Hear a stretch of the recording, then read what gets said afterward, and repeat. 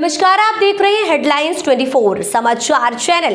आइए रुक करते हैं आज की खबरों की ओर। मतदाता जागरूकता विषय पर किया गया रंगोली प्रतियोगिता का आयोजन मध्य प्रदेश जन अभियान परिषद से संबंध नगर विकास प्रस्फुटन समिति वार्ड क्रमांक एक, गांधीनगर द्वारा मतदाता जागरूकता विषय पर रंगोली रंगोली प्रतियोगिता का आयोजन किया गया, जिसमें प्रतिभागियों को समिति द्वारा पुरस्कृत किया गया।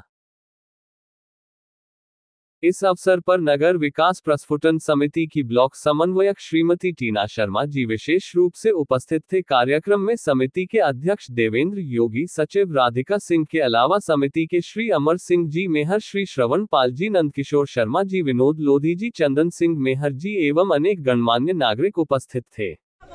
मेरा अधिकार। मेरा अधिकार। मेरा अधिकार। हम सबको हम सबको मिलकर मिलकर मतदान करना है। मतदान करना है और और सभी को सभी को